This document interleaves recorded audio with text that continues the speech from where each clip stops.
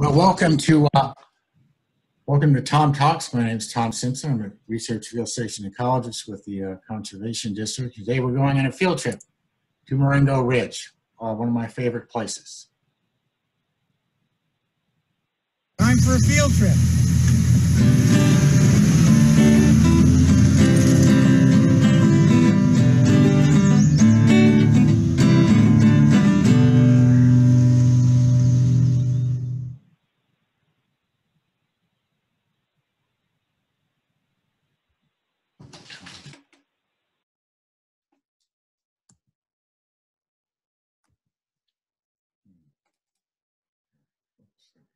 Welcome to OMG TV. I'm Ava Lachey here today with Justin Derrick, who has just completed a six month expedition to the western frontier of McHenry County. Derrick's good. Friends call me Derrick. Okay, Derrick, you've become a rock star explorer over recent years. The Tonight Show, Jimmy Kimmel, Oprah, you're really making the rounds.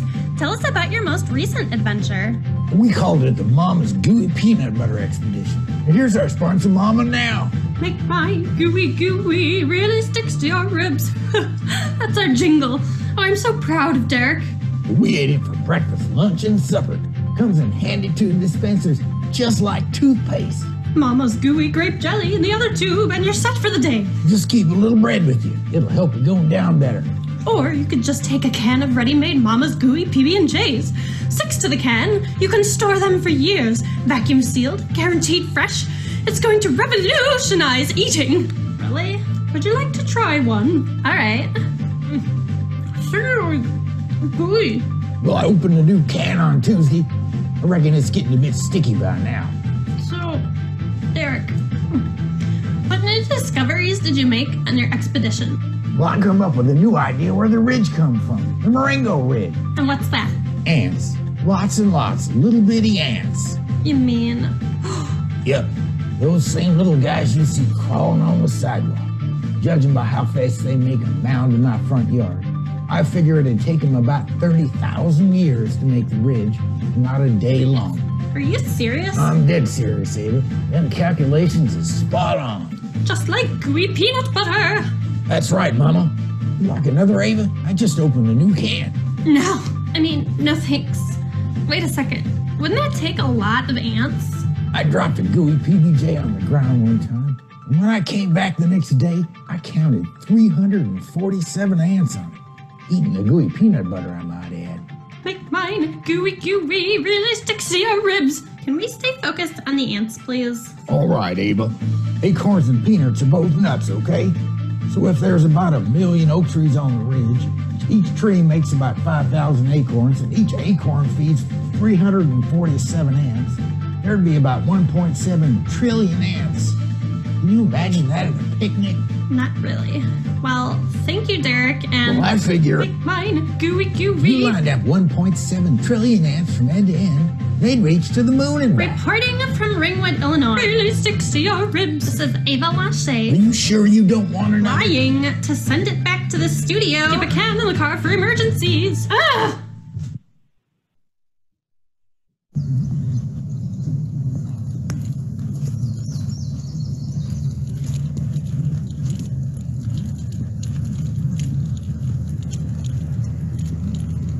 Hello there.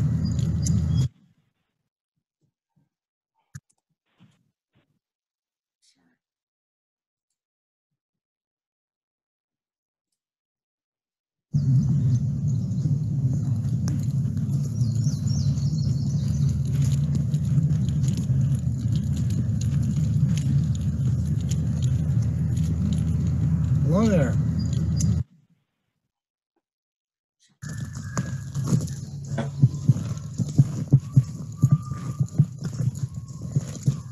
These are very distinctive woods, and it's really only about, oh, maybe 50 yards from the parking area.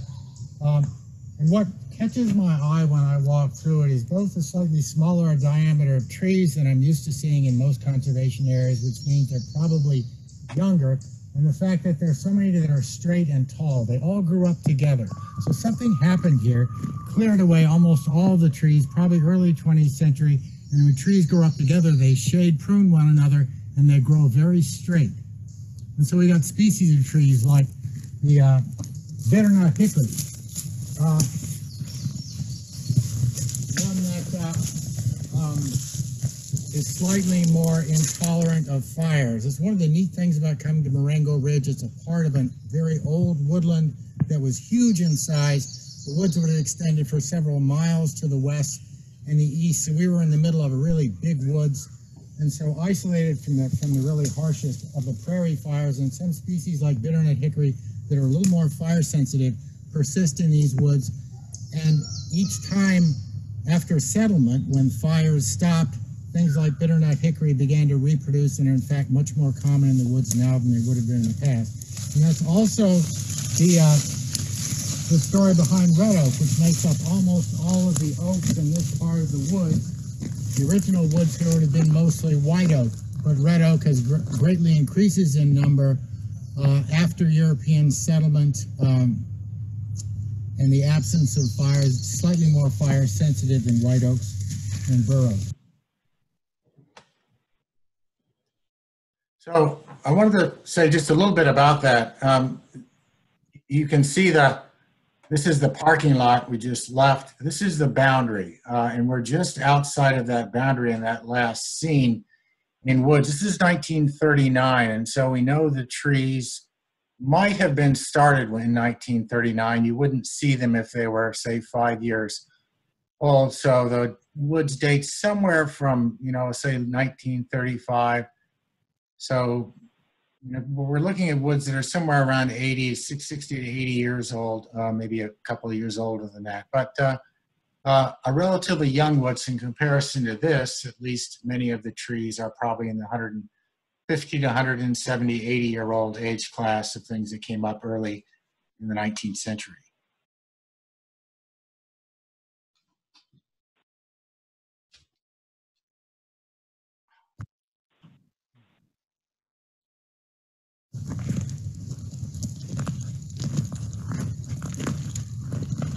Let's look at a few of the ground floor plants here in the woods and some of the smaller woody plants, young trees and shrubs. Uh, even though there's not much in bloom right in, in June you go through a sort of uh, minimal period of plants coming into bloom. There's a huge burst of blooming early in the spring and there'll be another burst of blooming in a few weeks. But right now there's a sort of quiet period in the woods, but quiet though it is, it's still, it's still beautiful. We can see lots of diversity in the ground floor. We have um, sweet Cicely here, um, member of the carrot family, beautiful pattern to the leaves. Here is a black snake root, fairly common plant of, of our woodlands. Um, this is Virginia knotweed, uh, really common plant of our woods these days. Uh, let's see what else we have here. Oh, here is one that's very common, but it's now in flower. And with so much of the year we don't see this in flower. This is white avens can be a little bit weedy, but it is a native plant of our woodlands. And oh, where's there is um. Why don't we look at this tree right here? This is uh, this is one I couldn't do in the woody plant workshop early in the summer. This is slippery elm, and uh, slippery elm. Uh, this the slippery part of it. I will demonstrate this for the for the camera because um, lots of people don't actually know this. Uh, that the slippery part comes from the inner bark, and if you chew the twig. Sorry about this. This is not.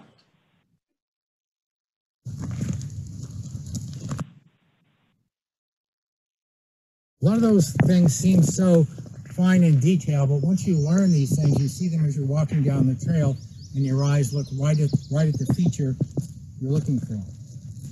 Here's a here's a wonderful woodland grass. This is silky wild rye. This will come into flower later in the year. It has a wonderful, uh, soft uh, fuzziness to the underside of the leaf. One of the nicest fuzzy feelings of all the plant world and in the Chicago region. You should definitely learn that one and give that a try. Um, oh, I need to point out one that you should know for your own protection. This is poison ivy and it is quite common in our woods in the Chicago area.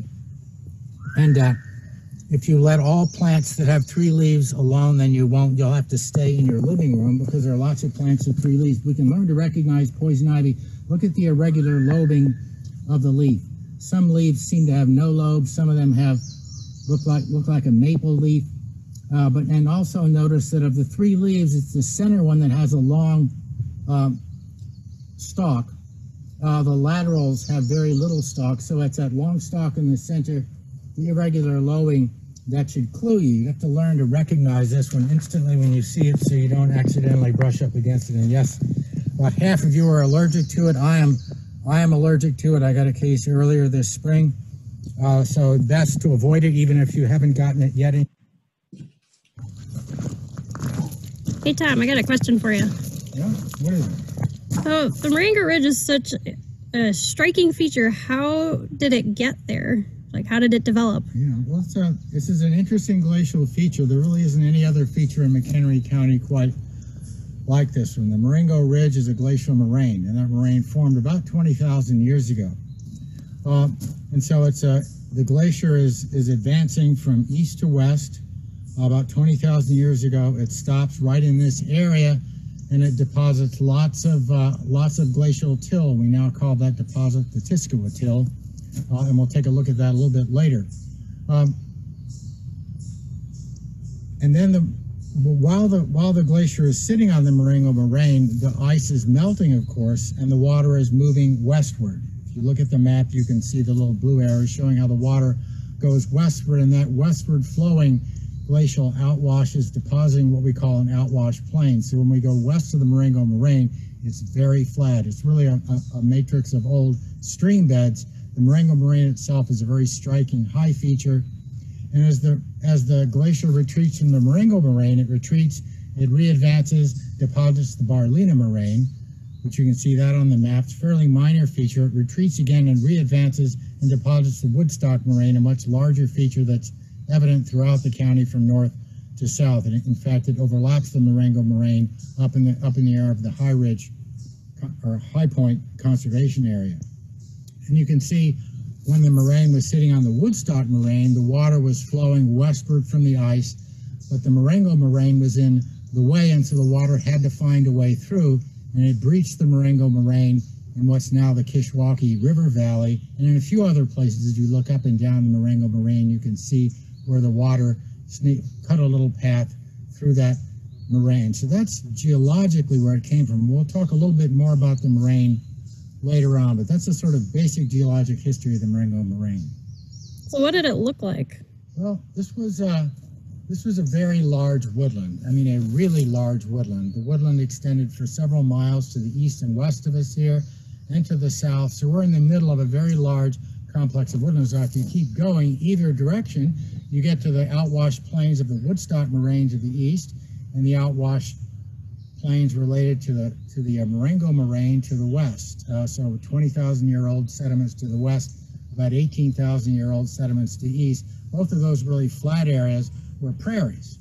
Fire moves very easily over flat areas, and so they became prairies.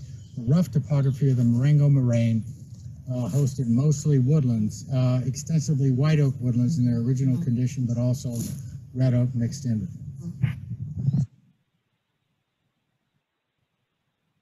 Hey, Tom, we had a question in the chat. Hey Tom, there's a flower over here. What's that? Right? Uh, we had someone wondering, uh, tell us a little bit more about the why the slippery elm is called slippery. I think that part of the video accidentally got cut short.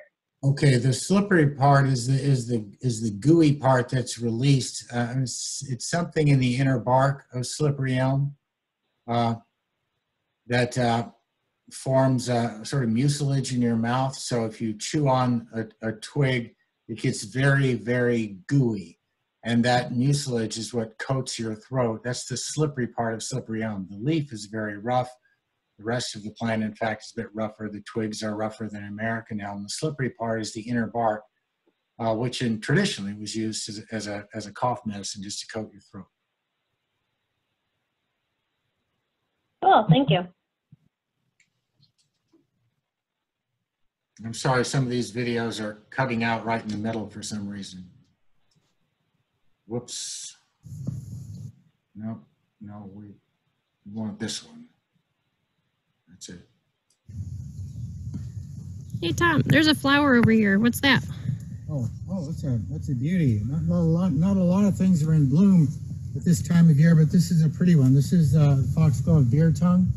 Um, beautiful uh, uh, flower opposite uh, what you might call opposite lanceolate leaves. Uh, beautiful. Uh, you can see that flower. It's uh, sort of bilaterally symmetric. All the all the petals are fused into a tube.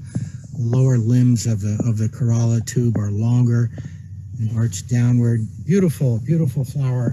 But look at some other things that are, that are growing right here that don't initially jump out to you. Here's the thicket creeper vine, this big five leaf, the compound leaves in fives. Here is the cleavers, bed straw. Uh, this is a, a wonderful plant to uh, to uh, play with your friends. Uh, it will stick to you like, uh, unfortunately, I'm not wearing uh, much in the way of cotton today, but uh, you can play games with your friends. You stick it on their back, and then an hour later, someone asks them, "Why is there a plant stuck on your back?" I'm not saying you should do that to your friends, but you just might. Here is uh, silky wild rye again.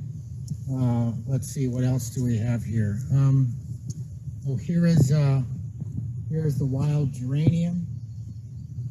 That one is right over here. Wild geranium uh, finished blooming for this year. Beautiful uh, uh, wildflower. Um, let's look on the other side of the tile and see what we can find here. This is uh, um, looks like the hairy aster, a native white aster, fairly common, but grows in the woods and out in the open. Uh, so Virginia knotweed again. So even though the, there there is not a lot of things blooming in the woods, once you learn your flowers, and as you learn the flowers, you'll learn the leaves, and over a few years you'll become familiar with them. Uh, and it's uh, it's just a beautiful. You don't they don't have to be in bloom to beautify the woods. And here's the elm leaf goldenrod, a goldenrod really characteristic of our old oak oak savannas and woodlands. We use that a lot in our restoration efforts today. It really thrives when it's reintroduced. Um, and here is our friend poison ivy again. And here is the Virginia creeper vine looking very much like thicket creeper, but here climbing up the tree, the same five leaves, but somewhat smaller. So we'll do that again on this trip, but there's lots and lots of diversity out here in the ground floor vegetation.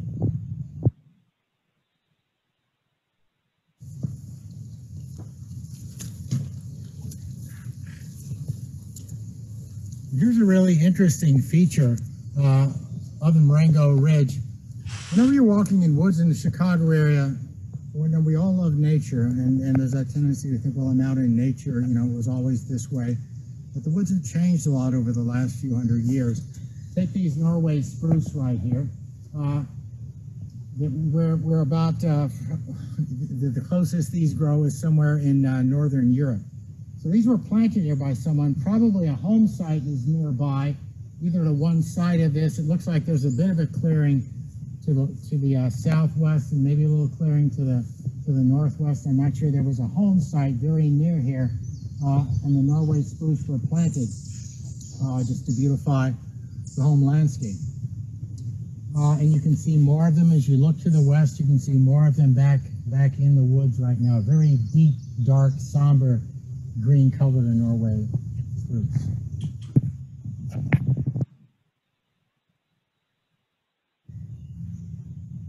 Well, it wouldn't be a day in the woods if Tom didn't bring out his soil auger, so he actually went back to go grab it. Found it. So what are we going to look at? So we're going to look at the soil here on the Marengo Ridge. Now this is formed in a very different glacial till from things we're used to looking at in the eastern part of the county. Uh, the soil is pretty dry and hard today, so I don't know how deep I'm going to be able to go.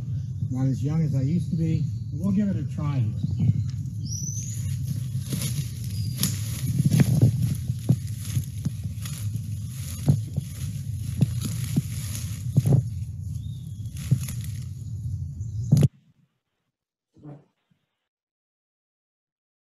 Okay, well, we're about as low as we can go with this soil auger. Uh, so I'm going to pull, pull this out carefully. Meaning I don't put myself.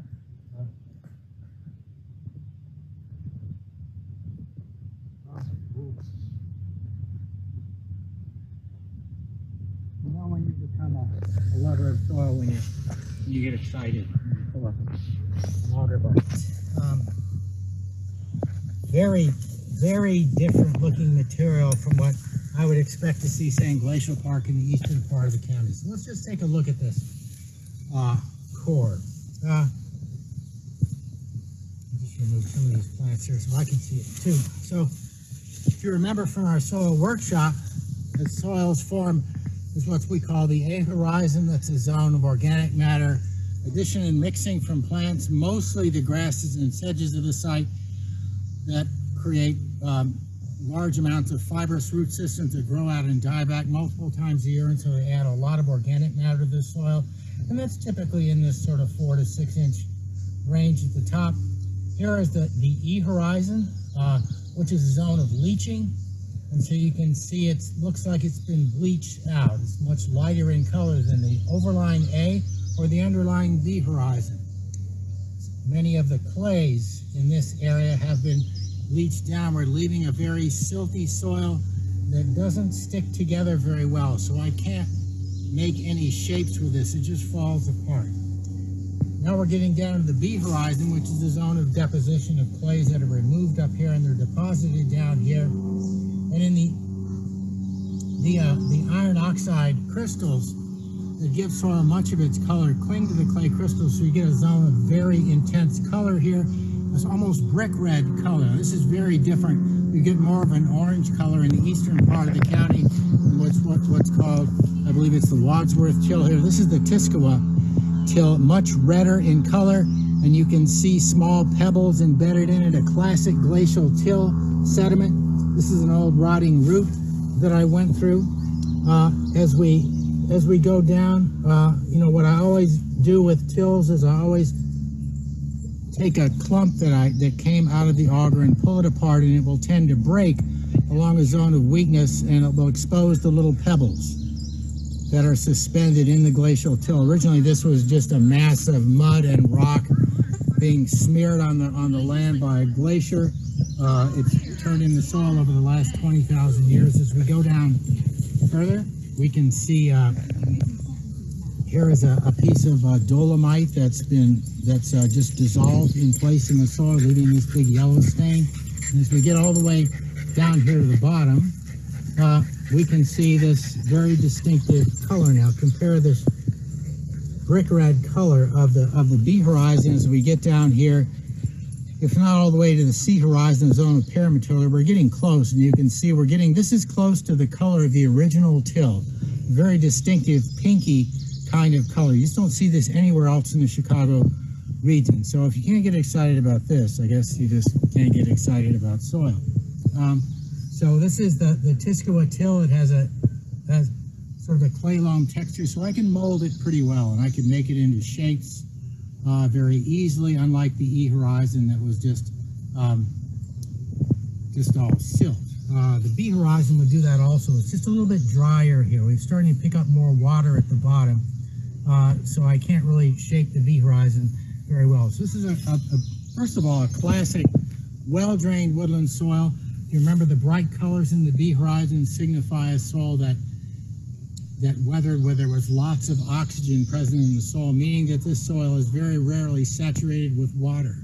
We're up on top of a hill, the water can run off in a number of different directions, so the water doesn't stand here, and we develop this very brightly colored B horizon, bright as soon as you retune your eyes to, to the colors of soil. This is a very brightly colored soil, uh, becoming much more bland in color here in the E horizon because the clay crystals and the pigments have been leached out accumulate here and becoming lighter in color here as we get back really toward the color of the original glacial till parent material.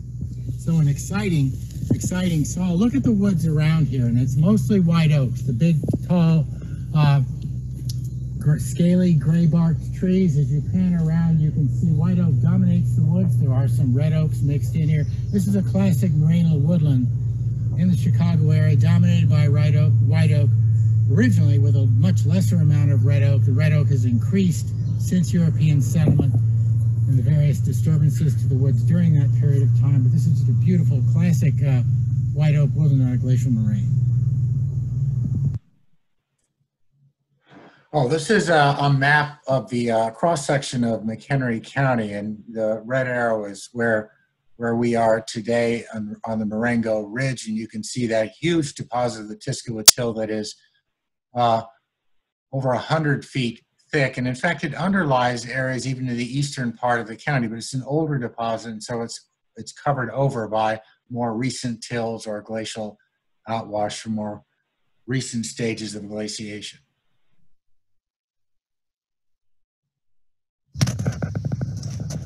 What I wanted to point out to you are a few plants here, and each one of these plants tells a different story about the woods. Here is our native yellow yellow honeysuckle, a sort of viney plant. Doesn't not a high climbing vine. Um, you hear it here twining around itself. These opposite, almost round or orbicular leaves, uh, not hairy at all. Uh, if you plant this in your backyard, it'll grow up on a trellis and it will have spectacularly beautiful flowers. But here in the woods, in the shade of the woods, it very rarely flowers. So what this is telling us is these plants established uh, in a past when these woods are much more open. They're left behind today, sort of relics of the past, and they can no longer flower anymore. The, uh, the prickly ash uh, right here is also a native shrub of the oak woods of, of, of McHenry County.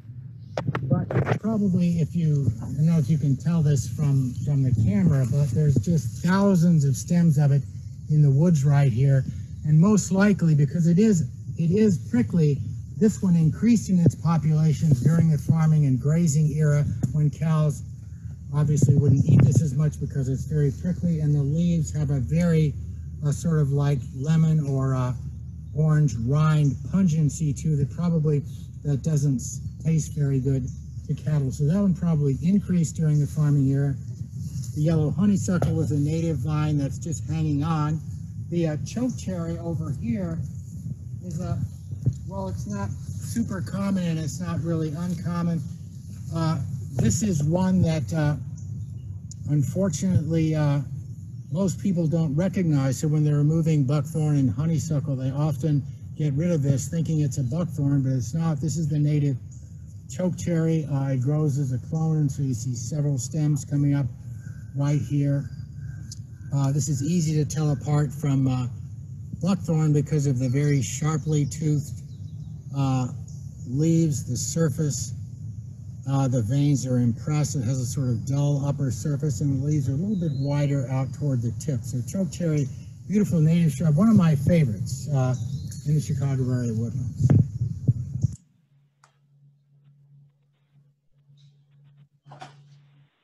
Uh, many of our native shrubs already, but I just wanted to reinforce this. This is one of the wonderful things about the ridge, is just the richness of the native shrub layer. That's often uh, one of the things that's that's most lacking in many of the woods in the Chicago area. Probably the long history of grazing, uh, and then the in incursion of exotic uh, trees and shrubs shaded out that, that native shrub layer. But here we've just got a whole variety of them. I mentioned a few already, the prickly ash, probably which even increased during the farming era.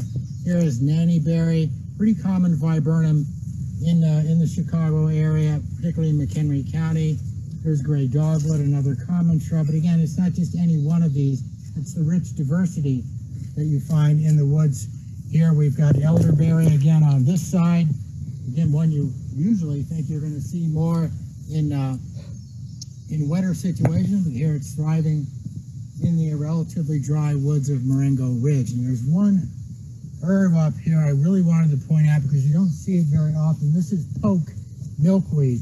Most of us are familiar with the common milkweed that's a weed in farm fields uh, and famously is one of the major food sources for monarch butterfly larvae. This is another milkweed, same genus, same milky sap, serves that same function in terms of the host plant for uh, for the monarch larvae, but uh, but much more rare and a, and a plant of our woodlands, not of open sunny areas. And you can see that the umbel of flowers is looser, not as many flowers. When they open up, they won't be that pink. There will be a very light pink, the very light purple and white, even light green colors in the flower.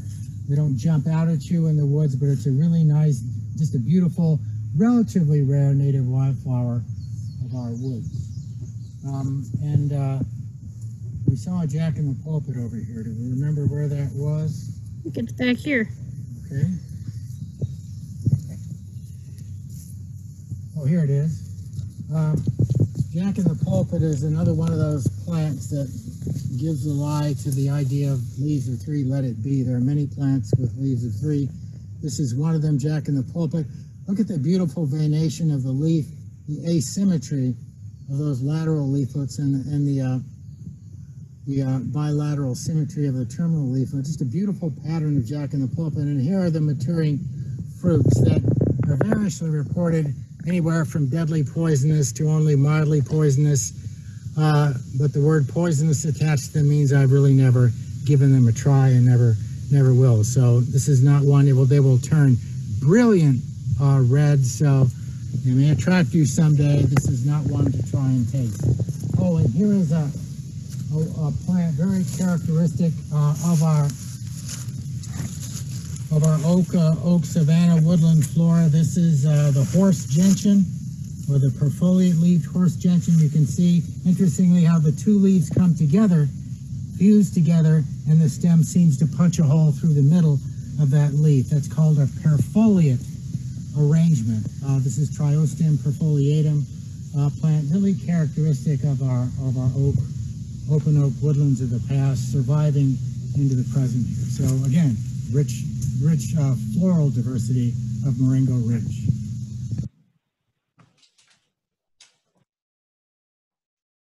So you mentioned earlier that there was some evidence of grazing with all the prickly ash here earlier. What else do you see that tells you there was grazing?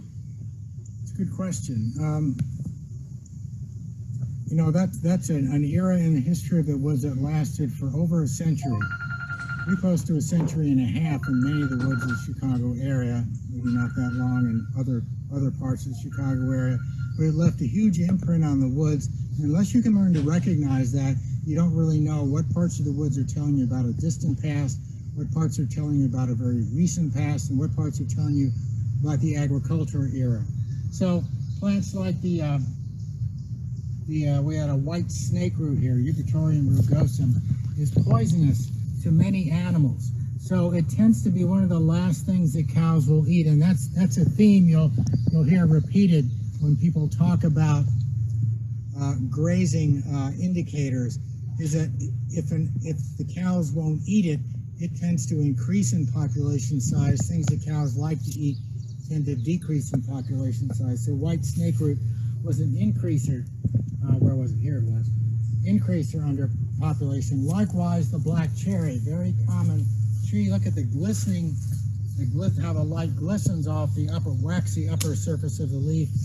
Much uh, much shinier than choke cherry, which has a dull upper surface. This one grows into a medium-sized to large tree.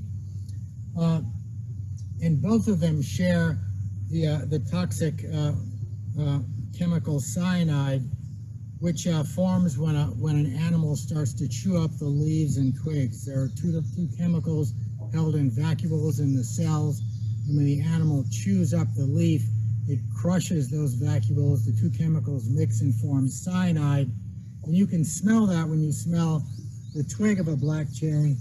You scratch and sniff the twig, and you'll get that bitter odor, and it's the odor of hydrocyanic acid uh, in, in those kind of quantities. It's not going to hurt you. So again, cows try to avoid this. If, if you get enough cows in and there's so little to eat, they'll start to eat this stuff, but they can actually die from eating black cherries. So two plants that try to deter uh, um, eating by cattle with poisonous foliage. Other plants like the blackberry here uh, do it with prickles. And so uh, blackberries are famously the bane of, of ranchers who are, who are trying to graze their, cattle. These will invade pastures and the clumps just get bigger and bigger and bigger. And they're densely beset by these large thorns and ward off the, uh, the livestock. And so you have to end up going and herbiciding or even taking them out with a bulldozer uh, to clear the pasture again. We have its sort of little brother here, the black, uh, the black raspberry. The thorns a little bit less, uh, but also a thorny plant and one that would ward off at least some of the grazing. So it doesn't mean that every one of these plants is going to be overpopulated anytime you graze livestock. When you keep all these plants in mind and you see one or more of them overpopulated in the woods, like the prickly ash is here, it's telling you about that grazing history. Here's the prickly ash again, over here again, prickly and, and combines prickles with the chemicals in the leaf that give it that really pungent, rather nasty taste. I don't know if it's poisonous. I don't think so, but it might be uh, probably cows just simply don't like to eat it. So just, just a few of the plants that really tell you about the, uh, the grazing era history of these woods. And you can also, when we look at aerial photographs, uh, you can see this, the right, the straight lines and right angled openings that are created in the woods by farmers and Europeans. You know, we, we do things on squares and right angles. And so you clear a field and you clear a rectangle so you can run the tractor along rows parallel to the long side. So those are the kinds of openings you see in the woods. And whenever you see a long straight line in the woods, you know that's a recent of recent origin a product of the agricultural and grazing era.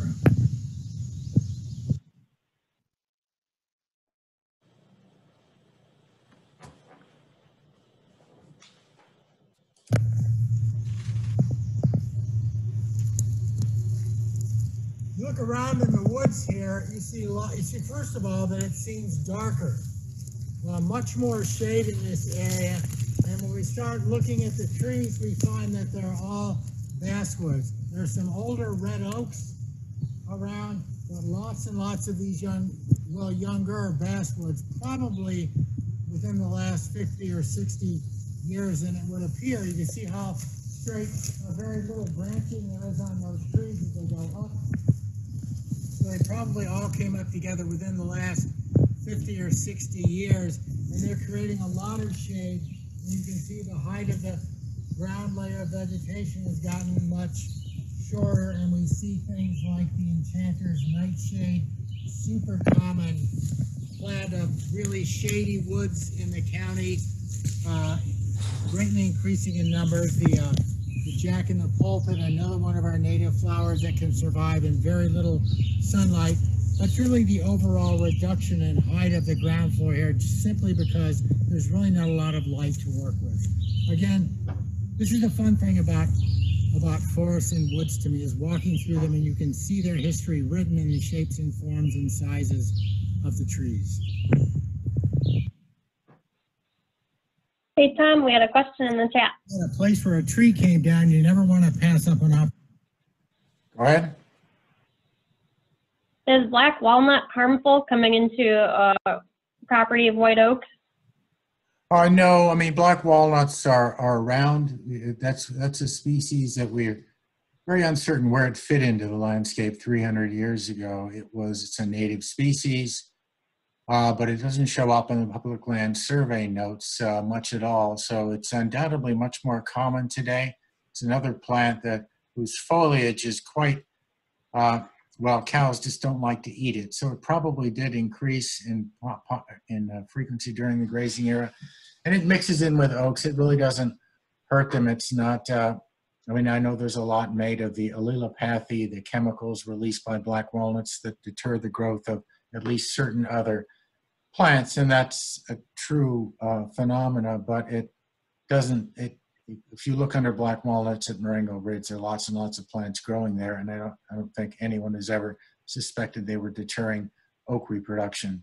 Um, so they're not really hurting anything. There are probably a lot more black walnuts at Marengo Ridge and in many of our natural areas today than there used to be, but they're not a harmful species. It's just one more, one more of the native hardwood species of our area. Thank you. opportunity to look at the soil. This is one my doctor's spending energy So this uh, pretty hard what looks like an old willow that came down uh, So we can see the, uh, the pink color of the Tiskilwa tills. Here you can see the suspended pebbles, characteristic of glacial tills. It's a perfect example of that. This is poison ivy right here, to which I am allergic. So I'm very aware of where my hands are going right now. Uh, just the angular fragments of, of rock that were broken up by the glacier and then left behind. Uh, so we've got the poison ivy here. We've got uh, a little bit of slippery elm coming in right along the side here. Here's, uh, we've mentioned some of these already. This is the, uh, the elm leaf goldenrod. This is, uh, this is a little plant you probably got growing in your yard. It's the, uh, one of our European oxalis uh, shrubs, very common exotic plant of, of lawns, but you do find in the woods also if you get a chance to taste it. It has a wonderful um, tangy uh, acid in there, oxalic acid, which is the same acid you get in fresh spinach. It gives it a little tanginess to it. So here's a nice example of the Tiskilwa till, and we didn't even have to dig a hole for it.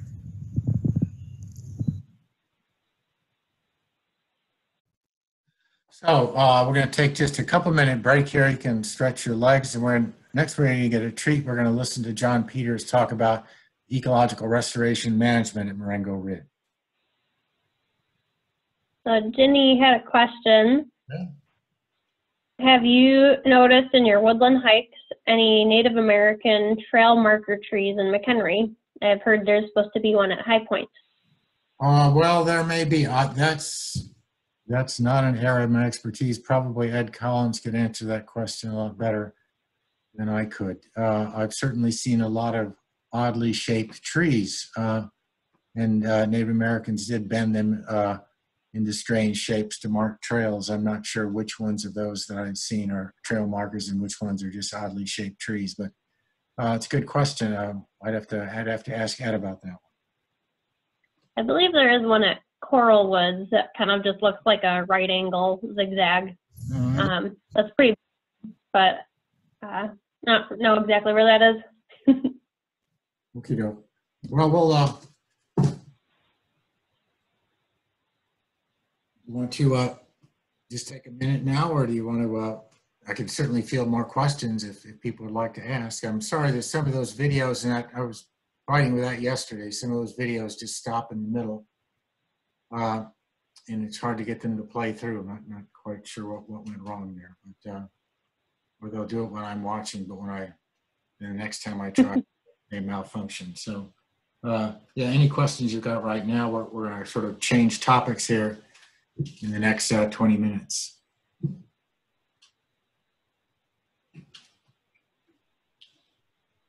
Okay, well, we can, we can move ahead now if you think we, are we ready, Jackie? Um, we just had a question come in. Right. Is the flowering plant all over Marengo white petals, yellow center, about three to four feet tall? White petals, yellow center.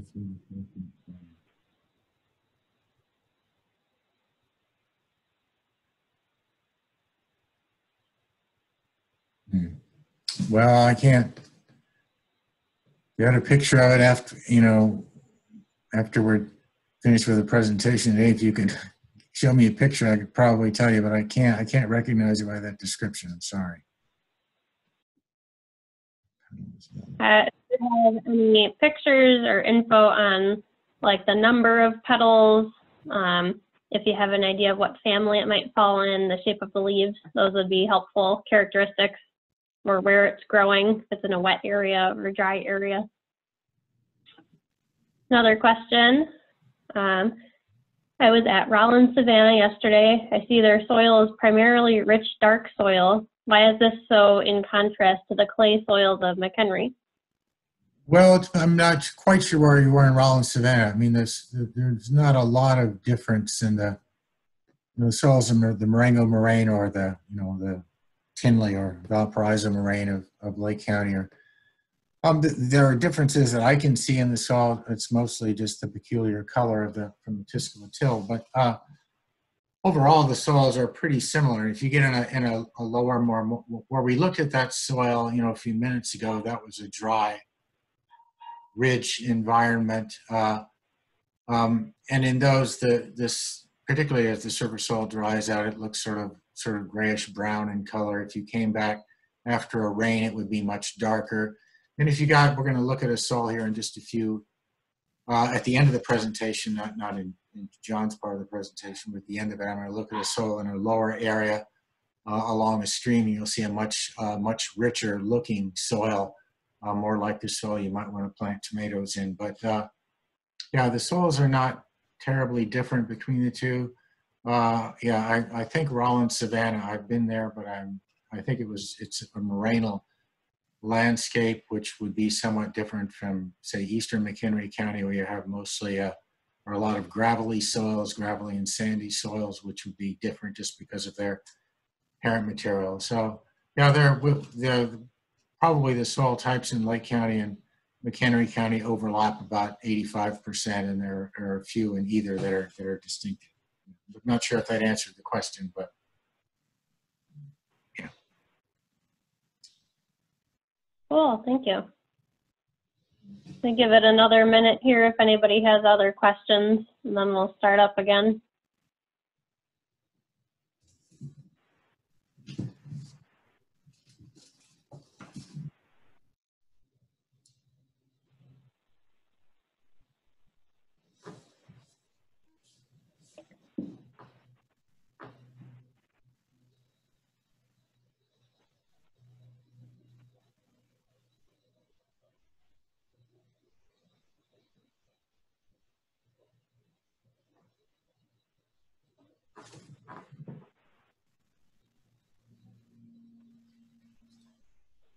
Had a comment. Some of our young white oaks are yellowed and right next to them are green. Any idea what that might be? Well, yellowing with white oak is generally a, a sign of chlorosis. And uh, I don't, if these are planted or, or not, if they're, white oak's very pH sensitive. So if this, if if it's, this can be the, can be the only reason why this happens, but I, it will happen if the soil uh, if you're next to gravel or, or a sidewalk, or when you're near buildings, you can be near fill and uh, crushed rock, uh, all of which, you know, if it's crushed dolomite, limestone, uh, will raise the pH of soil. And if it gets much above seven, uh, the white oak can't pick up enough um, iron and magnesium to form chlorophyll, and so the leaves go yellow. Uh, so it's one of those species that's really can't grow in alkaline soils. Oak is much, much more amenable to growing in either acid or alkaline soils. Uh, white oak is really a, an acid to neutral um, soil plant. So I suspect, though I can't tell without looking at the situation, that the, it's a soil problem.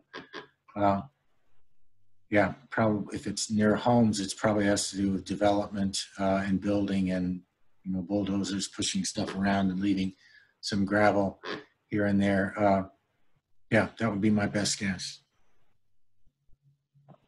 All right, and this is the last question before we'll start up again. Um, there's loads of milkweed at Marengo. Was there a planting in the past?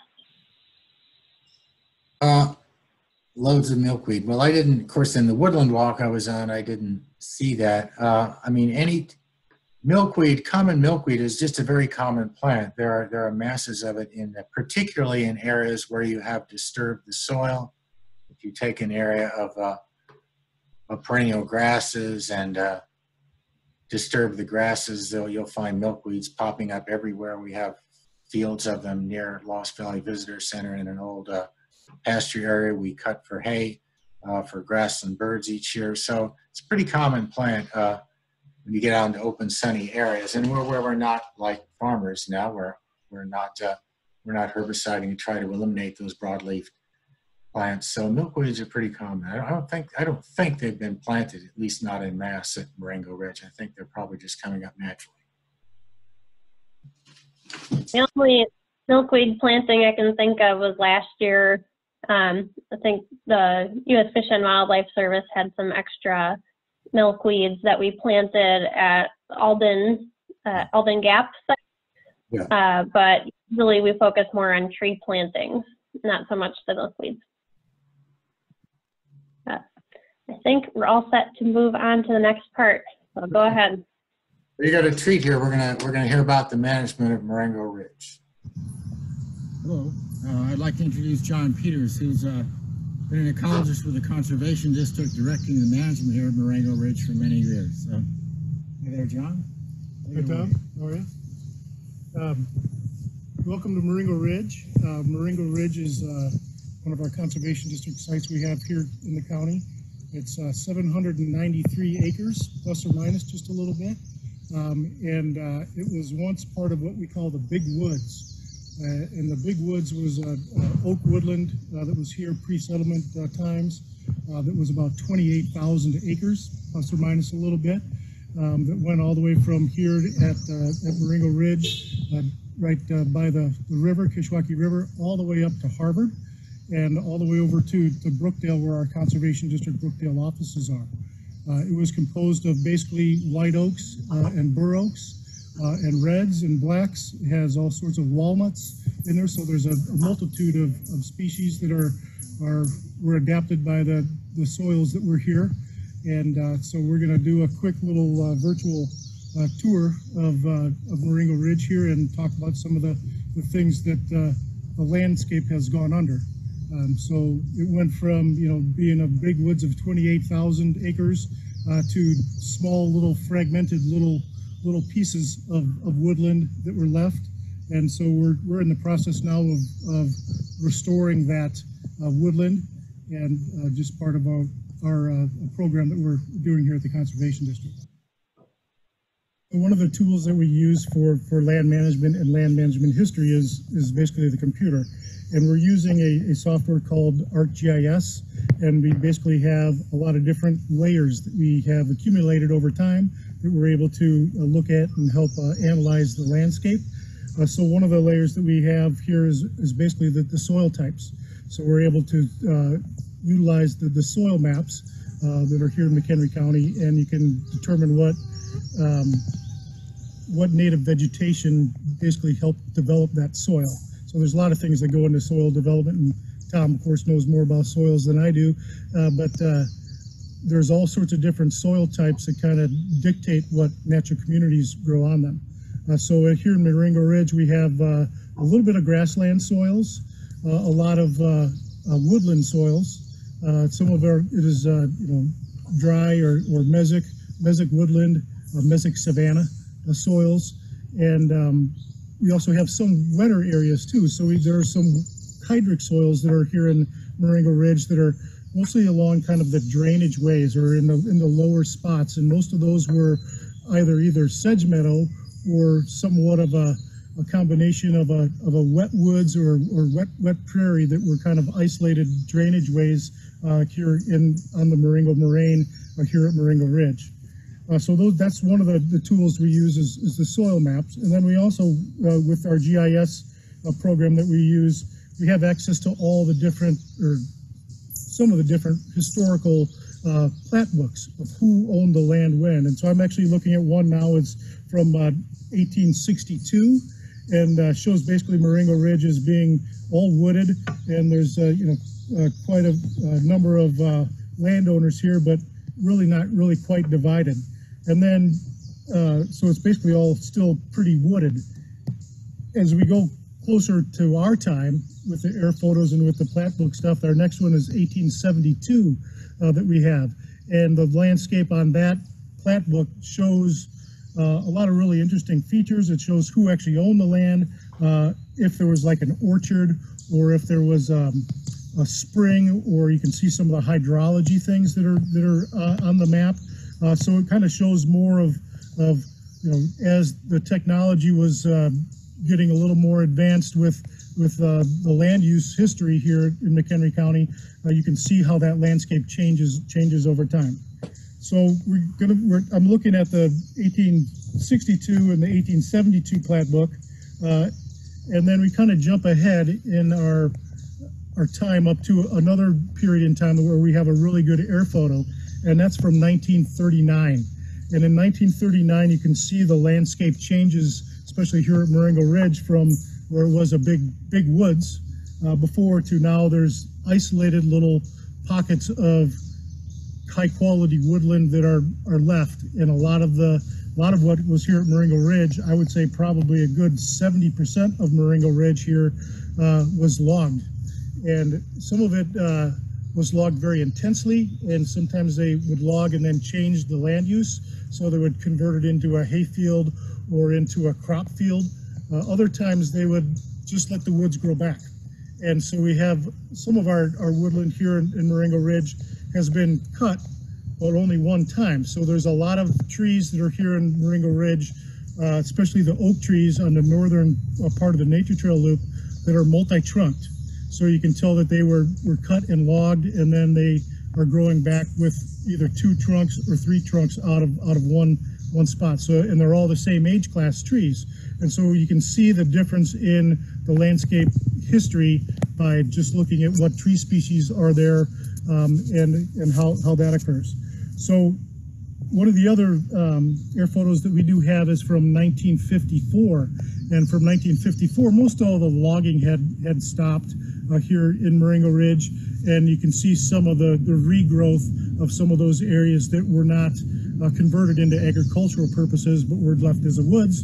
And you can see some of their, their, their growth coming back. And then you can look at a, you know, even closer air photos to our time into the into the 1988 is a real good one. We have a 1999 air photo, and then a series of them all the way through uh, through now. So we'll, uh, one of the pictures we have is basically what it looks like today. So we have a 2018 air photo that we'll be showing you, and just to see how the landscape has changed over time and and what we're able to do on on the property to try to you know reintroduce some of the the uh, woodland species. Uh, we're doing a lot of tree planting here on the site.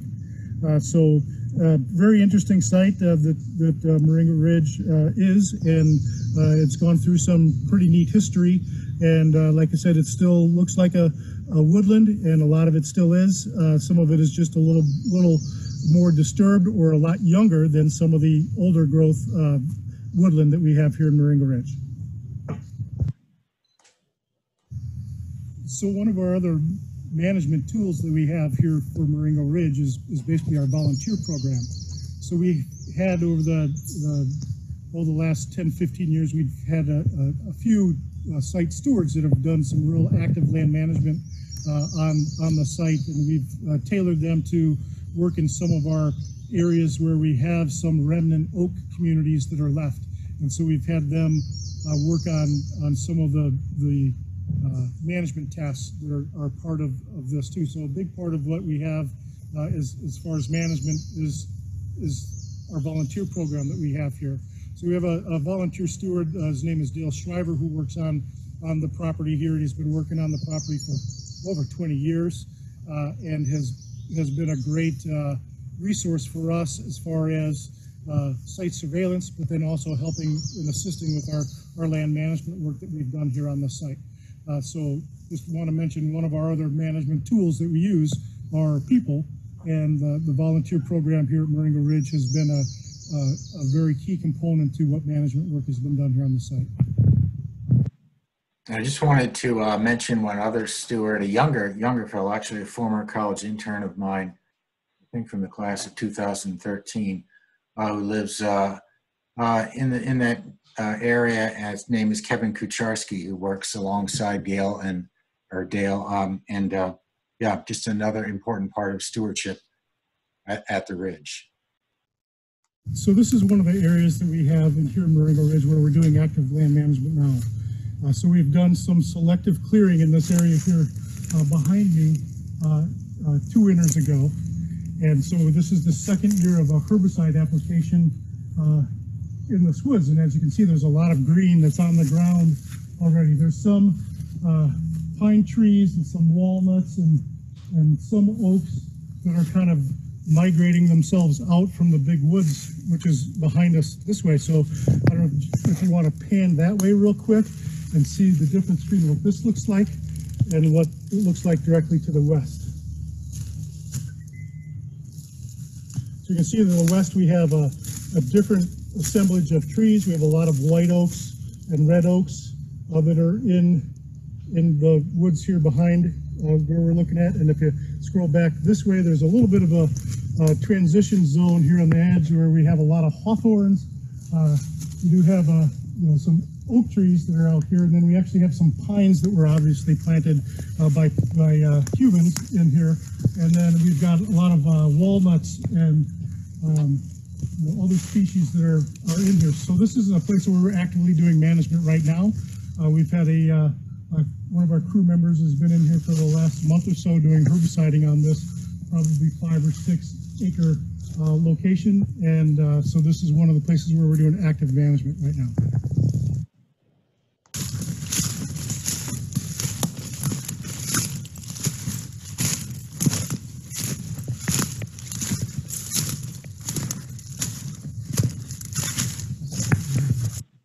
So I'm standing here right on, on basically the edge of, of what the old remnant woods was, and then behind over this way, where there's a different plant assemblage, where we have uh, different, basically different trees that are growing here. So I'm standing on, well, pretty close to where the original fence line used to be. And as you can see, we've got a big old glacial erratic and there's some other big rocks here that may kind of make sense that, you know, if a farmer has these big rocks out in the field, what do they do is they will move them off to the side of their big field so their tractor doesn't hit the rocks. And so along old fence lines, and we can see that this is probably where the old wood starts because we've got really, really big white oak trees on this side and behind me and in a straight line going down to the south. And over this way, there's, there's a, you know, assemblage of, of white oaks and walnuts and black oaks and, um, know, bur oaks that are here. And on this side of the tree line, we've got a different plant assemblage. And so that plant assemblage is, is basically from succession. And so if you have a field edge, what usually happens first is you get tree species that will move in that field edge and move, move further the way in. So on, on this east side of this white oak old fence line, we do have an assemblage of a lot of uh, basically red oaks, trees that are um, more uh, aggressive in their in their growth cycle with with op- more open conditions. And so there's a definite different age class from these big white oaks, right, to uh, oaks that are are still probably 60 years old or so, maybe 70, but they're not the 160 year old or 180 year old or 200 year old oaks uh, that are along the fence line and that are in part of this big woods here. So it's kind of interesting to see the dynamic where the uh, how you know kind of reading the landscape of what what has happened on this site and why why there's big trees here and over here there's little trees and we know that's just because of the land use history that, that's occurred on the site. Wanted to, uh, yeah, this is really sort of the equivalent place to where we started off, that very first stop when we left the parking lot. Um, same age, same condition back in the, in the thirties. Uh, and they've both probably grown in together, probably one long, uh, area paralleling the old woods to the west, uh, that has developed over the last 80 years or so. It's always interesting to see that phenomena of change and how some plants can be very common in the old woods and yet not move out of them, whereas some plants like red oak very aggressively moved out of the woods into that uh, area once they'd stopped uh, stopped farming. We had a question in the chat. Okay. What would they be herbiciding as part of management? Probably much of the herbiciding is was it's you're, you're following up uh, cutting, and so uh, either by machine or by hand, a lot of the invasive uh, um, honeysuckles and uh, um, buckthorn and uh, multiflora rose uh, and autumn olive and those sort of woody invasives would have been cut, uh, and they will probably they tried to herbicide the stumps, but you always miss quite a few, and so they have to come in repeatedly and try to catch the resprouts and herbicide those. I would suspect that was 98% of what they were herbiciding uh, along the edge of the woods like that. Thank you.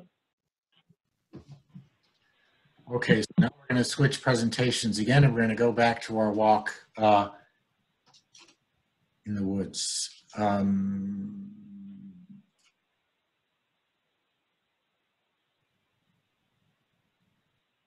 three, there we go.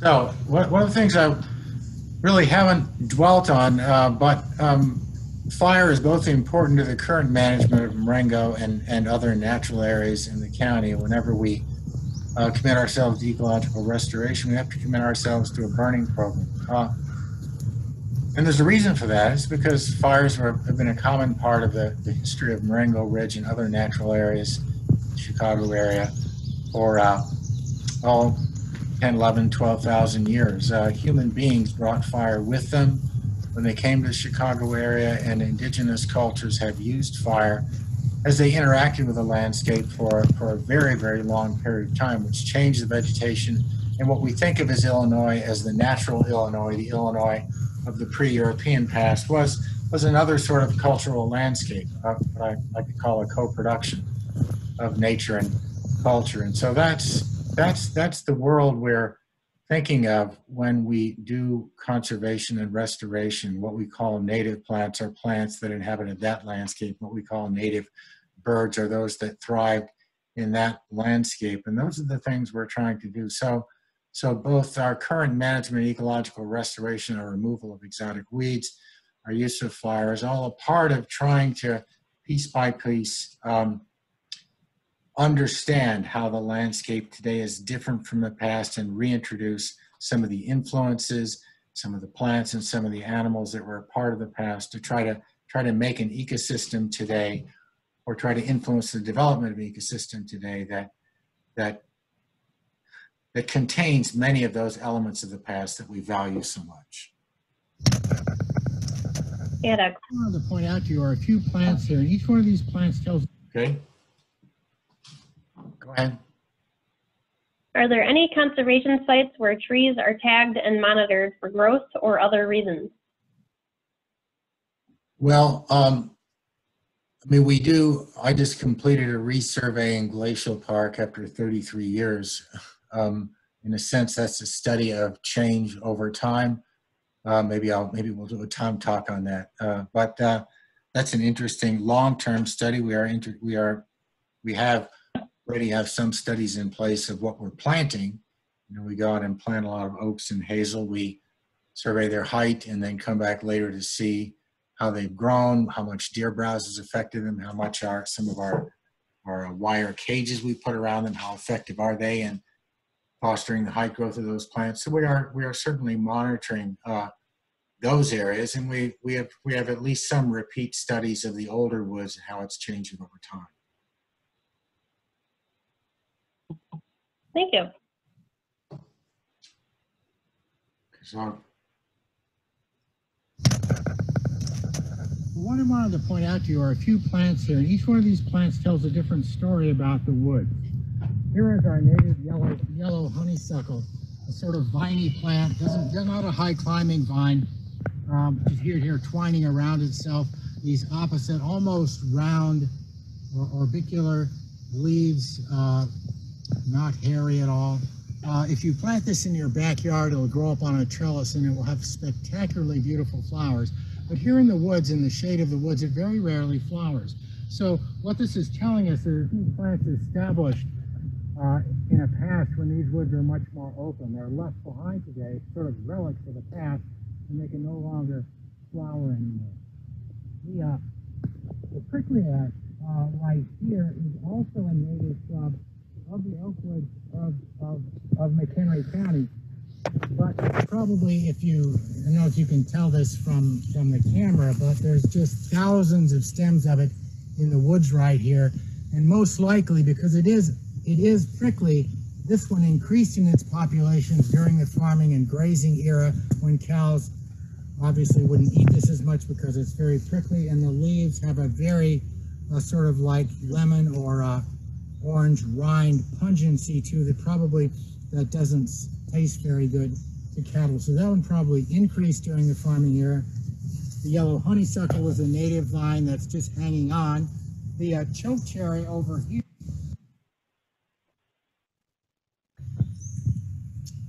So what I want to do here is to look at the soil again. Now we should be in basically the same parent material. This whole whole uh, whole natural area here is uh, is is uh, developed on on the Marengo moraine, and is composed of the Tiskilwa till I mentioned earlier, that nice reddish color that we saw in the last one. But here we're in a much lower area. There's a little stream right next to us. Uh, very little uh, relief, uh, pretty flat. So we would expect to see some indication of wetness in the soil. So we'll start start a soil. We'll take me a few minutes to dig it. And we'll, uh, we'll compare this to the last soil we looked at a few minutes ago.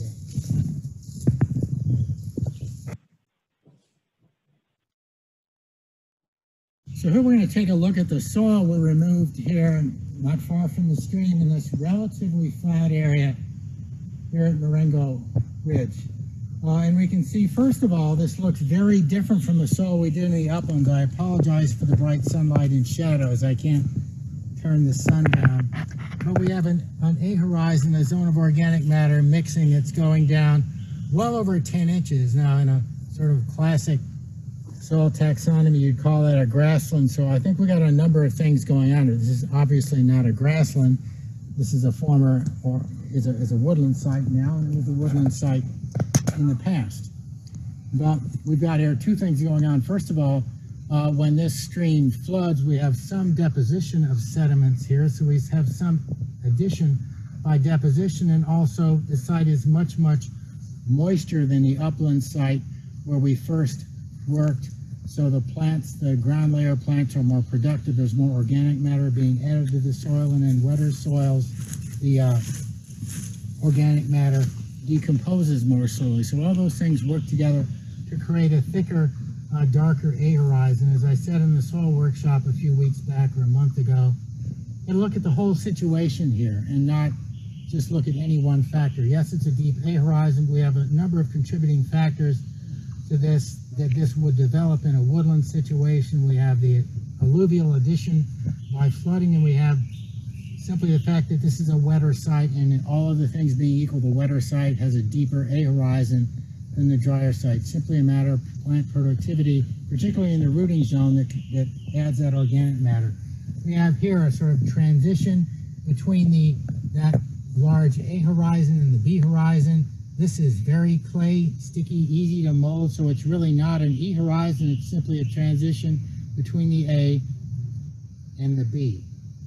Uh, and if we get down here into the B horizon, we can see uh, colors. I wish I could put the uh, the soil of the first one right next to this, but that was uh, that was over an hour ago.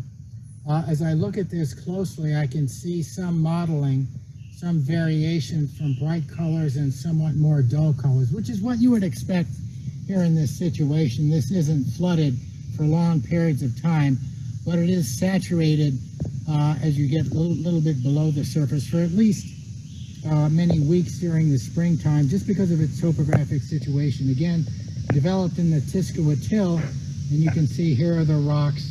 Here's a beautiful piece of chert, uh, very common rock to find in our glacial tills. It breaks like a piece of glass on these sort of arcing conchoidal fractures. There's a beautiful piece of chert from the original Tiskilwa tills But this soil developed in it shows both the influence of the addition of organic matter at the surface and of the wetness, seasonal wetness down below where we have a little mottling and a little bit of the appearance of those dull colors. If you remember, the dull colors are indicating poor oxidation. The iron compounds that form where there's very little oxygen tend to be gray in color, uh, gray and very dull colors, and so we'll get that uh, showing up down here in the B horizon. So, um, nice contrast to that first soil we saw up above. So I wanted to stop here to uh, to look at this ephemeral stream stream valley. It's really characteristic of the Marengo moraine. Now, many of the smaller ephemeral stream valleys at this time of year are, obscured by the ground vegetation. If we had done this trip in the winter, we could have seen every little little uh, little valley, uh, very characteristic of this area, because water. Uh, let's think about the eastern part of the county, where usually there's a lot of gravel, loose gravel under the surface. Even if the surface has a glacial hill layer under it, is a deep uh, aquifer with water in, in a gravel aquifer. Here, the water starts to go into this glacial till, but pretty soon it's it's virtually impermeable to water movement. It moves laterally, and then it comes out in, in, in these uh, depressions along the slope and starts to flow downward. Now, in this case, we've got an exaggeration of it with some recent disturbance. We'll talk about this in just a minute. But that's a characteristic form of the Marengo moraine. A lot of surface drainage patterns. You'll see that in the map that shows all those little patterns. That's how you can recognize a glacial moraine is looking for that pattern of surface surface drainage. Very different from ice contact landscapes. Let's go down and take a look at this at this uh, stream channel a little bit more closely. And I'll try to do this without falling.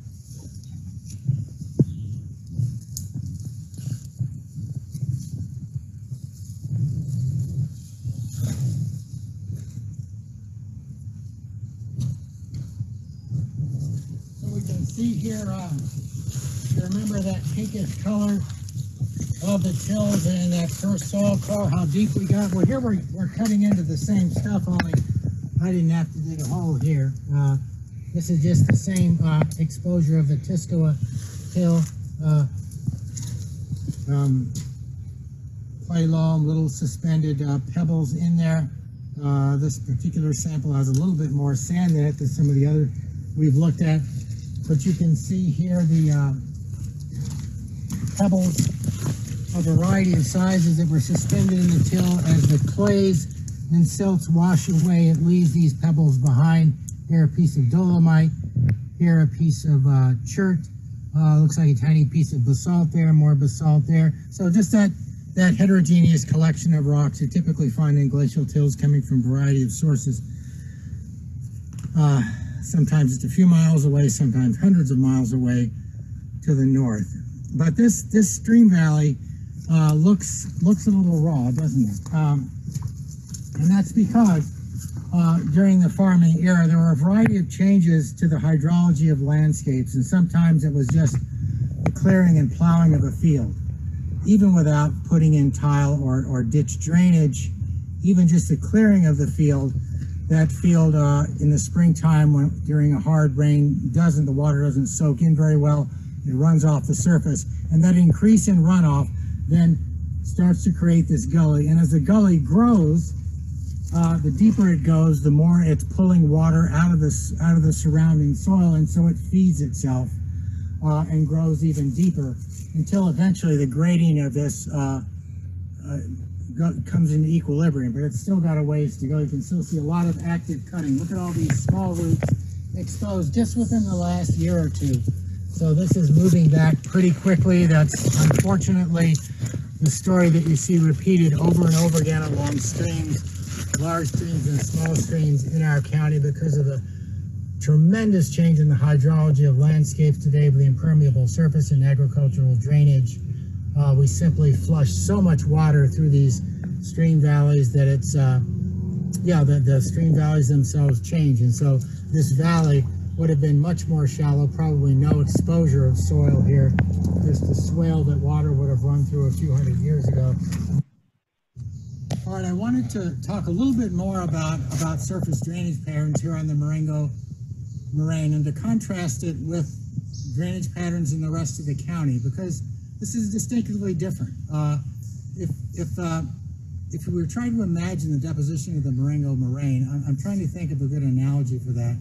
If we think of just a big bulldozer pushing ahead and piling up just mounds of this Tiskilwa till, this clay loam, really heavy, sticky material. Uh, at the same time, water pouring off the ice off into the outwash plain to the west. And then the glacier recedes and it leaves this just mound, essentially a big mound of mud. And rains in the, in the centuries after that are just are just falling on this bare mud and then creating all sorts of rills and gullies in it. And so when we look at the Marengo moraine today, particularly the topographic map, as you're seeing now, you can see all of those little valleys, uh, some of which continue to develop over the last 20,000 years, but many of which probably had their origin and much of their development almost immediately after the deposition, there's essentially no plants to hold the soil back. Now, that's, that in itself, I suppose, is interesting, but want to contrast that with the eastern part of the county. I've got a couple of examples here First, there's a landscape immediately northeast of, of Goose Lake where we visited on our last field trip. In fact, uh, we did a little uh, video there where we're looking at eskers in the background, an ice contact landscape. If you look at this map, you can see the letter D marks all the closed depressions. Now here we've got a different sort of phenomenon, and again I'm going to try to come up with a good analogy. Try to imagine the dumping of this glacial material on a landscape with just a lot of big, big and little blocks of ice left behind. And so then as that ice melts, it leaves these depressions behind. So you have this lumpy landscape, not hundreds of feet.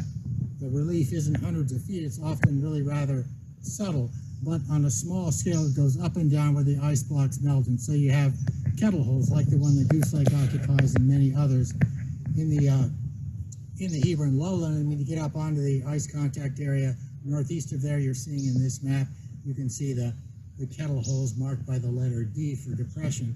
And again, if we look at the at the um, the Boone Creek area, we can see just just peppered with small depressions. Again, another ice contact landscape. So in these areas, you really never had a lot of that surface runoff and the development of that more or less organized drainage pattern. Rather, this the water went into the down into an aquifer. There wasn't a lot of surface runoff, and so that topography was created as the ice melted and it sagged into this closed depressions and small hills we call kames and kettles, and occasionally leftover stream sediments we now call eskers. So I just wanted to contrast those two. It's really important ecologically because in the eastern part of the county, you'll get this spatial juxtaposition of small kettle wetland next to gravel hill. So you're getting a contrast of standing water to a dry gravel hill over a matter of maybe 20 or 30 meters, really short distances. Here in the western part of the county, we have much of that same diversity, but scaled up. And so the Marengo Moraine is a huge feature, uh, miles wide. Um, and, uh, and this wonderful woodland developed on it. Then the outwash plains to both sides are huge, extensive features that stretch for miles on either side. Again, tremendous diversity, but here played out on a larger scale. So that's really, it's a wonderful thing when you start to study geology and combine it with ecology. You start to appreciate those different scales at which you achieve this sort of ecological diversity in landscapes.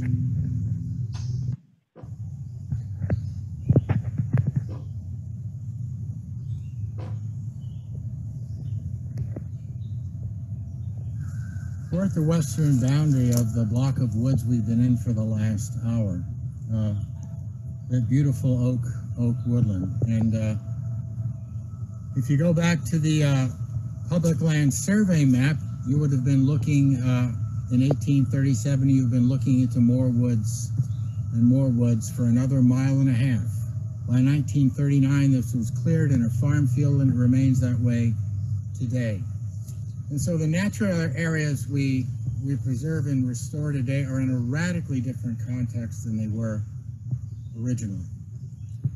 And so that's really the, the reason why we have to conduct ecological restoration management because of this radically different context, the exotic plants and animals that are constantly coming into the preserves from the outside. And this is just a really stark reminder of that. When you come to the edge of the natural area, we all like to be in the middle, but if you come to the edge and look out, you see the predicament of nature today and the reason why we need to do ecological restoration management.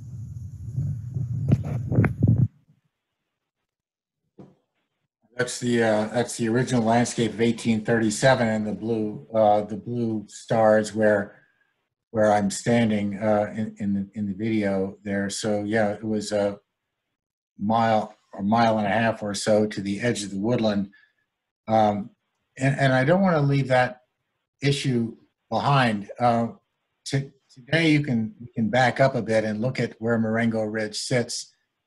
Um, the, the, the issue of of uh, of development surrounding natural areas is a complex one. It does many things. One of the things it does is it juxtaposes nature and uh, and modern human culture. And as we back up a bit, you can start to see the complexity of modern human culture. You can see the north side of the of the town of Marengo. You can see the many human developments and houses, all of which uh, are probably at least well, almost all of which have, you know, exotic plants around them uh, and English sparrows nesting on, on the eaves of the houses. Uh, and so the, the little, the, what is a comparatively little woods of Marengo Ridge seems big when you're standing in the middle of it, but that comparatively little woods is surrounded in a world that's completely or almost completely transformed from the state of the landscape hundreds of years ago. So that little bit of woods that we were in is now in a radically different context and subject to invasion by any number of exotic plants and animals. And as we back up even further, here you can see the whole of the county and the, the ridge is this uh, stripe here through the county. And as we look at that, you can see that would have been one massive dark green stripe if we had had an aerial photograph from 1820.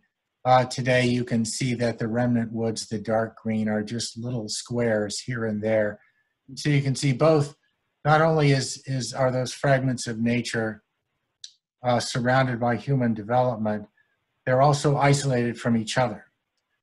And so uh, if you have a small area of woods, and originally it had a species of, it could be a plant or an animal, but a species that was never terribly common, was relatively few in number, and now it's isolated from other members of its own species. Uh, natural fluctuations over time, difficult weather years may snuff it out of existence altogether within that small little square. And since there's no way to reinvade, we lose one species. So that's the that's the difficulty of reducing natural areas to small islands in, in a developed context. Is that over time, just natural fluctuations in populations much less the invasion by exotics and other human disturbances leads to the local extirpation of species from these areas and they just become more and more species poor. So that's that's a that's an important part of why we do ecological restoration today. Uh, and you don't you don't see it quite as much when you stand in the middle of a natural area like we all like to do, like I like to do, uh, and and uh, and try to forget about what's what's outside of it.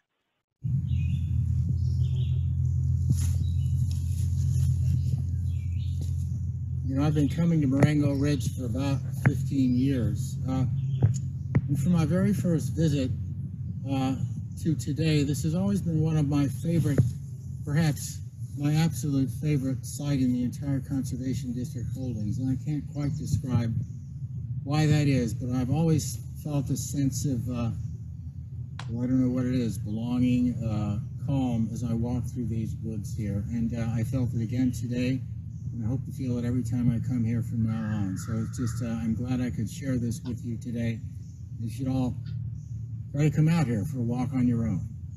But uh, I think right now we need to get back to the cars. It's time, all, all the good things come to an end. This field trip has to come to an end. So goodbye for now.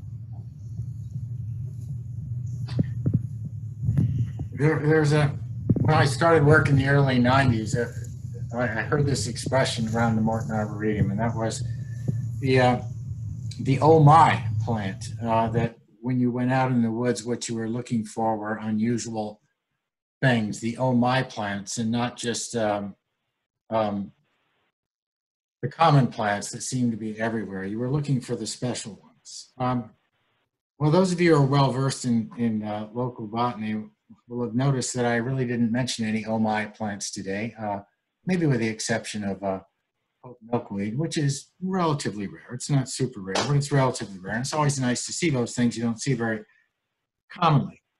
Uh, but I, you know, I, I, I, I could have scoured the woods and I would have found a few rare things and I could have taken you from one rare thing to the next, as, as I often had botanists do with me in the early 90s. But Rather, what I really wanted to do is present the places that would appear to you as you walk in the woods and explain how and why it looks as it does today. Um, that, that focus on rare species, I think, is important because the preservation of rare species is important to conservation. But it, it can lead to a sort of myopic focus on rare things and makes us all into list makers. Um, and we turn places like Marengo Ridge into lists of, of species of this or that and we scan through the list looking for things that are rare and valuable. But, but these, these places are much more than containers of species and their worth is not tallied just in a bunch of lists. All of us um, were raised in a culture of objects and we we look through the objects and we list of them, we separate the valuable objects from the not valuable objects. Uh, and we need to learn to live in a culture of places, uh, and that will take a lot of intentional effort on our part.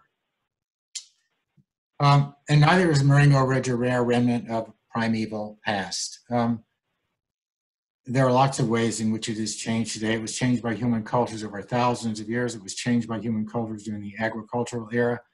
Now it's being changed by the culture of conservation. I, I wouldn't um, begin to, to present the woods to you as some, uh, some isolated remnant of, of a savanna, oak, oak woodland savanna from, from the 18th century. It's, it's not that. My fascination and enjoyment of the place is partly understandable. I'm a lover of trees. I'll admit to that. I, that, that was my the origin of my love of nature was the love of trees. And there's lots and lots of trees in Marengo Ridge and a lo lovely diversity of trees and other woody plants. So I love it for that reason.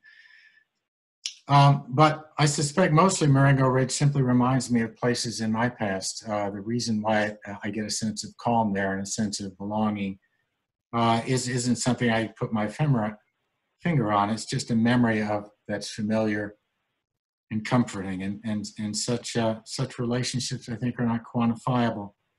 But I think they're real and very powerful and, and, uh, and probably closer to the, to the reason why we do the things we do as conservationists than lists of species. And I'll leave it there for today. Thank you. Uh, thank you for coming on the trip with me. I always love field trips and this is my first, uh, well, not my first virtual trip. We did one a couple weeks ago, but this one was a bit different for me. So thank you for coming, and uh, I'll take uh, any questions you have now.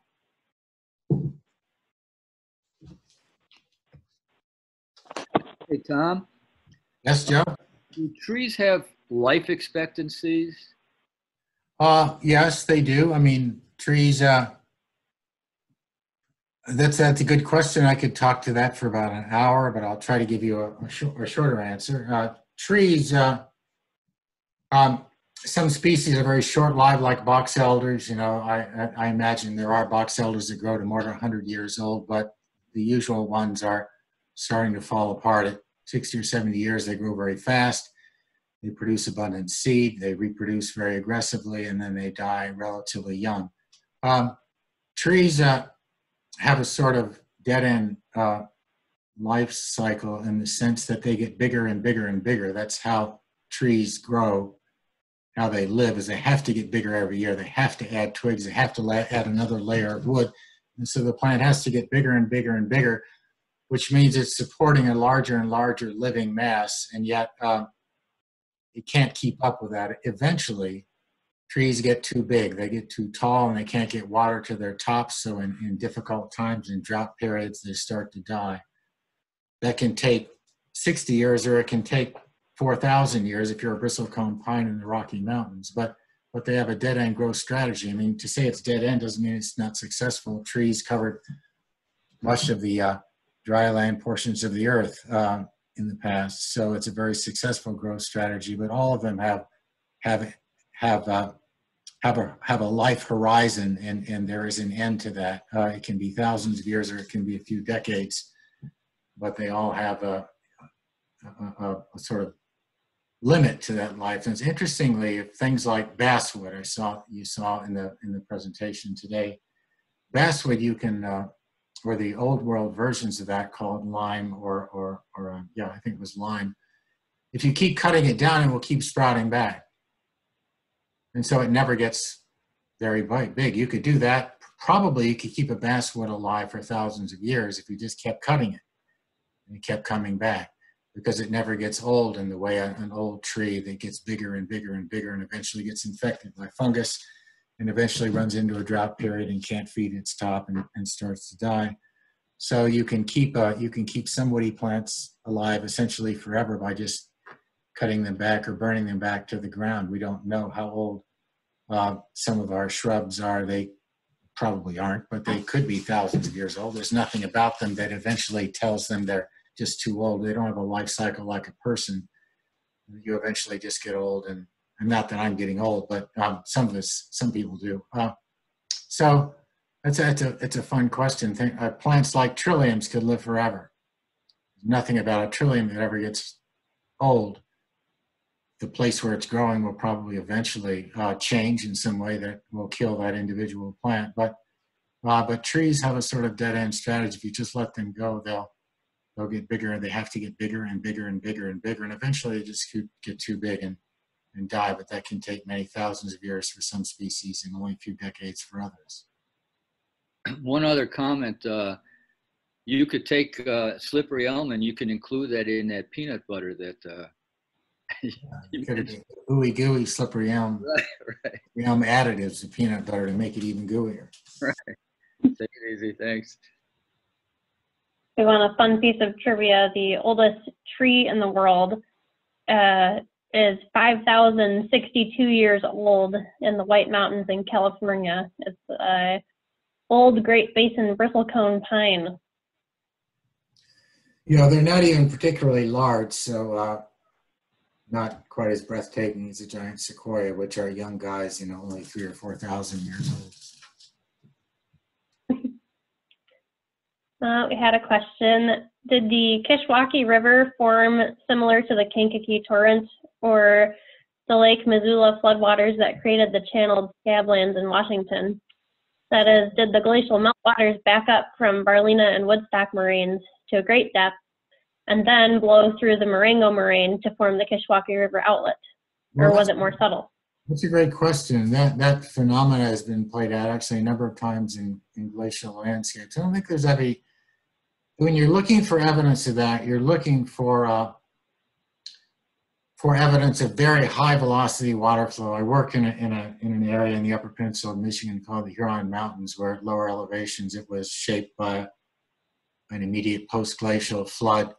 And there were boulders the size of automobiles that had been rolled around and moved and piled up in places. And that's what you're looking for if you're looking for a catastrophic uh, flood deposits like the Scablands. I haven't been to the Scablands, I've read a lot about them. Uh, so we don't see that uh, in the case of the Kishwaukee River. Probably as the glacier was pulling back, it was starting to, the gap that is now the Kishwaukee Gap was starting to form. And so there was never a really high backup of water behind that. At least as far as I know, there's no evidence of a catastrophic flow of water there, more a, a more controlled erosion of, of the of the of the moraine as the water was outwash water was opening up probably a you know larger and larger uh, channel, uh, what's what's now the Kishwaukee Channel that cuts through the Marengo Moraine. So great question. Uh, Maybe we could take a field trip to the Huron Mountains where I was in the late 80s and I could show you some catastrophic flood deposits, but not, not here.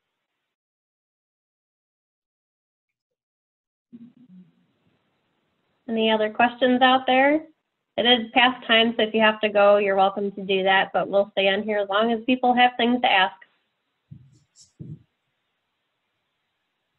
Interesting uh, story about the uh, scablands and catastrophic floods. The person who first wrote about them was named Bretz, Harlen Bretz, and he started off in the Chicago area and did several really good books uh, on the geology of Chicago region, uh, one on hard rock geology, one on glacial geology. I have copies in my office at work. Well, it's no longer in print, but it's a wonderful read. He was a good writer.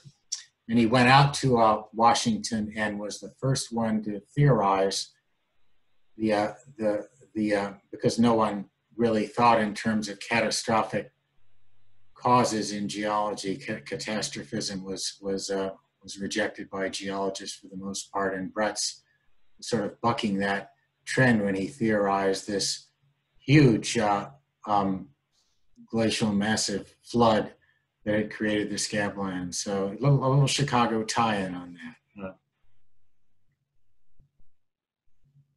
And another question in the chat. When you say poke milkweed, are you referring to the plant that's also called pokeweed? No, no, it's a good question. Pokeweed is a is a common annual weed. It's a native weed. Uh, you know, it's hard to know with some of those weeds where they fit into a landscape 500 years ago, but probably uh, just occasional disturbances here and there. They may have followed uh, human, set, you know, small human uh, indigenous people settlements around. Uh, but it's a it's a rather attractive uh, weed with with very tiny black berries. Um, um, they um, the, young leaves of that can be eaten as a salad. those people as old as I am remember the song Polk Salad Annie. That one comes from pokeweed. But poke milkweed is a different, I don't know where the, the word poke is common between the two. I don't know where that comes from, but poke milkweed is a, is a different plant, a relative, relatively uncommon native milkweed of our woodlands. Hey, Tom, I have a, a thought. You said how you feel at home uh, in the woods, uh, how you feel Yeah. better. I, I see Jenny says she feels similar, and so do I. And my question or my thought is that has has the species, has our race, human race, have are we unnatural? Are we living unnaturally? Have we evolved like you know? Should we be replanted in the forest as native plants or what? Well, that's a well. That's uh, you know I can always count on you, Joe, for a deep question. Uh, you know, I, I think there's been a lot of there was a lot of speculation going back to my days in college about about human beings evolving on the savannas of Africa and all that. But the savannas of Africa are quite different from Marengo Ridge. Uh, I'm I tend to. I mean, I, my my take on that is first of all, I think yeah, we have certainly put ourselves in a very odd situation today, a situation that's really very different, even from the human past of a few thousand years ago, which is a pretty small amount of time. Well, so in that sense, we are maybe we are sort of out of place. Uh, I tend to think my my affections are more influenced by just childhood and, in forests and being a shy kid that liked to get off in the woods and uh, it's peaceful and uh, quiet and yeah and, and you know my work as a graduate student all those things. I can't there's the most important things about your past is the things you can't remember.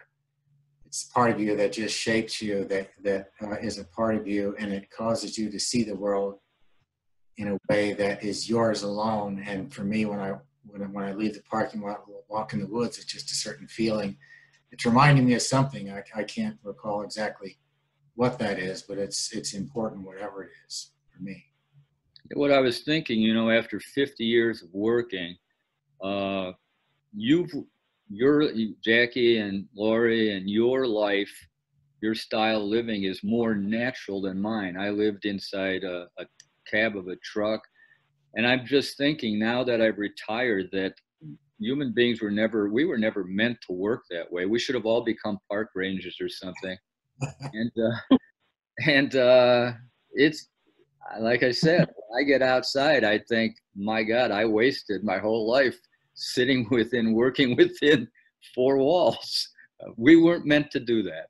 well, Anyway, I. I mean, there's a lot of roles for people in society and a lot of roles that need to be filled. I mean, my, my goal as a teacher is not to, not to make everyone into a park ranger, then we wouldn't have anyone to pay the park rangers. But, uh, yeah, it's to just open up a world that is, is, is new to people that didn't, I mean, I, I didn't, you know, I was 30 years old when I went back to school and started studying ecology. I had a different life before that. Uh, and but the life that's opened up since then is just one I want to make people familiar with. It's added so much to my life that I wanted it to make it to make it available to other people. That's my goal as an educator and as a conservationist because I think that that familiarity is the real root. That's that's that's what we go back to when we want to conserve and preserve and restore nature. It's not fancy. It's not philosophical. It is it is it is deep down in the core of who we are and what we love. Uh, that's and, and that shapes us, and that's that's where our where our urge to conserve comes from, and that's why I want to get people in touch with it uh, as much as I can. Okay, thank you. Mhm.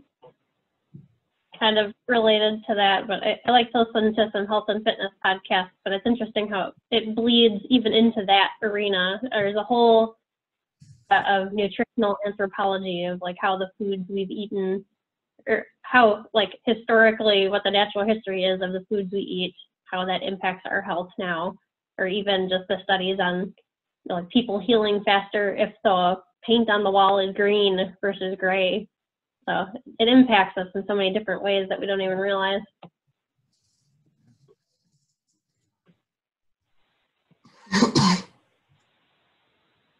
Well, if anyone has any other questions, now is your chance. Otherwise, we'll be wrapping up here shortly.